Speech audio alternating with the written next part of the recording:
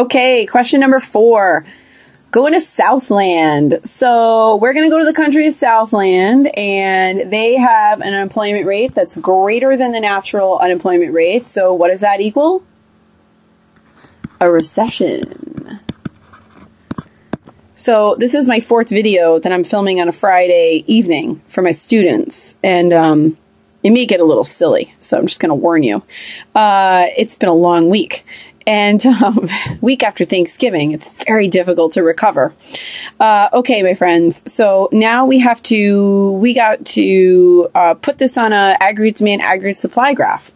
Uh, this is kind of an old question, and um, this question doesn't even show us uh, or, or specify to put the long run aggregate supply, but in order to do the current equilibrium and to show the recession, it's sort of assumed that you would put the long run aggregate supply. And I have a little suspicion that the College Board, you know, when they're grading these, kids were not putting the long run. And you could probably argue that they still should get the point because it doesn't say to put the long run. So, you know, if we go back up to questions that we've done before, they're much more specific with saying you know, label the long run. So, um, you know, I just want to put that out there for you all as you do this question.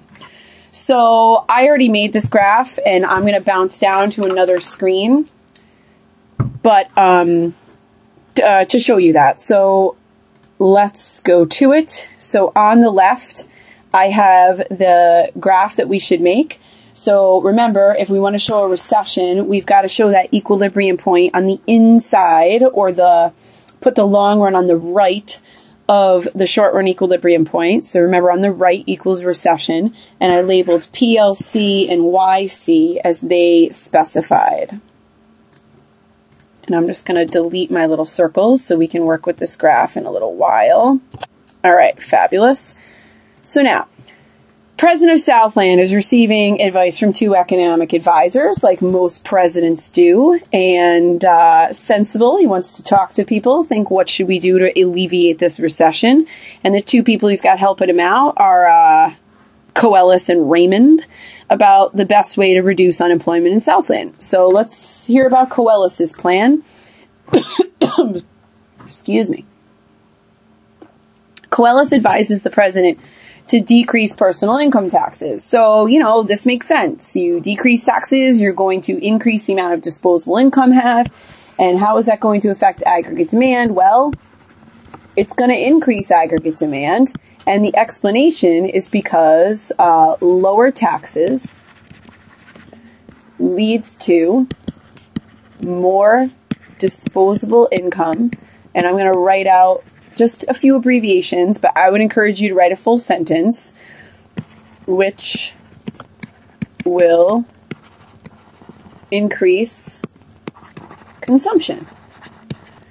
And, you know, just walking someone through the thought process of if we have lower taxes, then there's going to be less disposable, I mean, more disposable income and people will spend more money. Simple as that. So now I'm just going to erase this so we're not so clouded with text. Um, now we have to show this on the Phillips curve. And I think it's important for us to be really cognizant of what the questions are asking us. And we just have to do a short run Phillips curve. There's no requirement for long run here. And it says show the effect of the decrease of taxes. Label the initial equilibrium from part A up here as point A and the new one as point B. So if I go back to the graph that I made, I have already done this and I've got my inflation up here, my unemployment down here, my short run Phillips curve, and then I showed point A to B. Now, let's go back to the thought process and how to get there. So the decrease in income taxes would have shifted the aggregate demand line to the right. So remember the rules of the Phillips curve. How do I show that over here? Um, remember, an aggregate demand shift equals on the line. All right, remember, I demand to be on the line.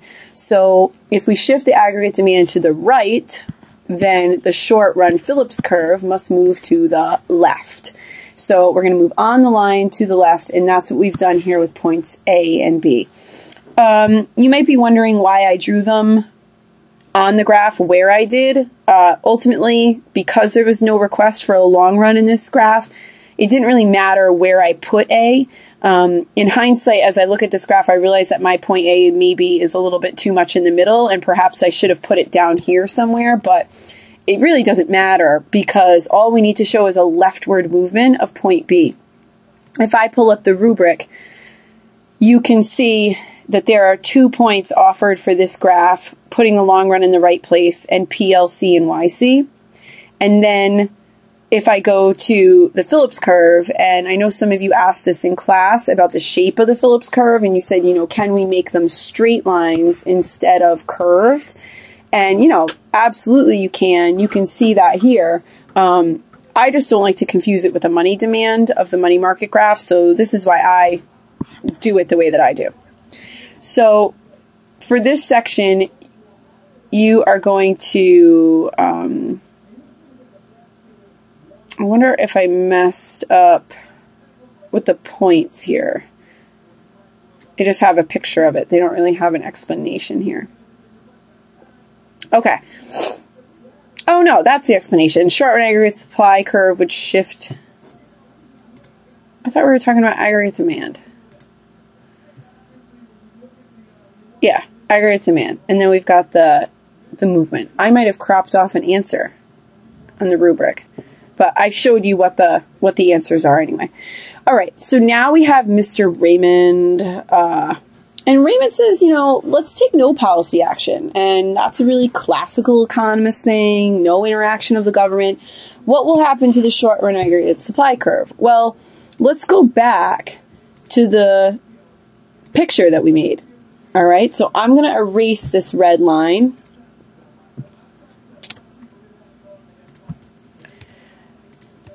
So if you look at this graph, price level is low and we're in a recession. And when we're in a recession and price level is lower than it really could be, people who are running businesses kind of benefit from this in a little bit by having lower costs of production.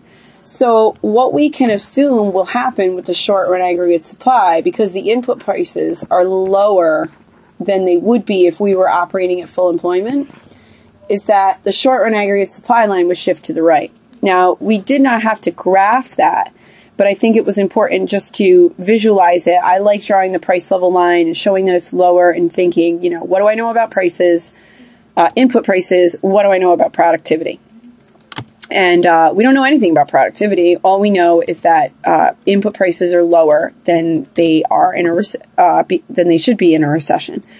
So the short run aggregate supply curve would shift to the right because input light prices are lower, which will enable businesses to produce more, hire more workers, so on and so forth. Uh, now we have to show a new correctly labeled graph of the short run Phillips curve and show the effect of the change in the short run aggregate supply. So let's just recall some of the things we talked about in class before we look at the answer. If the short run aggregate supply is what is shifting and it shifts to the right, what happens with the short run Phillips curve? Well, the short run Phillips curve experiences an entire shift to the left because they move in opposite directions and different than demand, where we demand to be on the line, like we did up here, the short run Phillips curve, the whole thing is going to move. So remember how I told you this was kind of an older question? They still have on this um, graph the previous answers from the other Phillips curve with A and B and then they added the long run Phillips curve. And if we go back to the question, it doesn't say to have the long run there. So, like I told you before, this is kind of an older question. So I feel like they're not doing the best job of explaining specifically what they want. So if you didn't draw the long run Phillips curve like you see it on this rubric, don't freak out. Okay. and also, there was no A and B listed on here. So part of me thinks, well, were we just supposed to do it to the original one that we drew? But the question says draw a new one. So if I were doing this answer on my piece of paper, uh, this is what it would look like. I would have short run Phillips curve here, unemployment rate, and inflation. And because the short run aggregate supply shifts to the right, I would shift this to the left. Oops. Now, the only thing that makes me realize that they want the long run Phillips curve here is because of what they wrote right here in the question of in the long run. So, like I told you, I think the College Board has gotten better at wording their questions, and they actually do want to see the long run because the short run aggregate supply would be shifting back to a long run equilibrium if the economy was left alone. Because isn't that what long run means? It means it's a self correcting economy and we get back to, you know, a fully employed economy eventually. So if I were to reflect that on the graph that we just made, I would have to have a line going down here like this. Because if this is in the long run, it means that it needs to be on the line. We have to have the natural rate of unemployment being 5% if we're in the long run. You know, we have to be a fully employed economy. So, like, even though they didn't say do the long run Phillips curve and the short run in plain language, the way that they did in previous questions,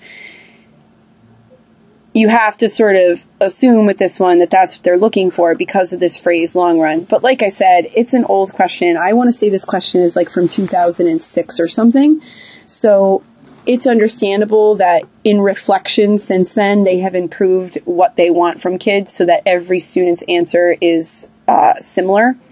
I also don't really love on this answer key how the arrow is pointing down for this, I think we need to really consider this being uh, shifting to the left. But in any event, um, I wanted to give you this question not to frustrate you with their old question styles, but to practice some of the skills of the Phillips curve. So that's question number four with Southland.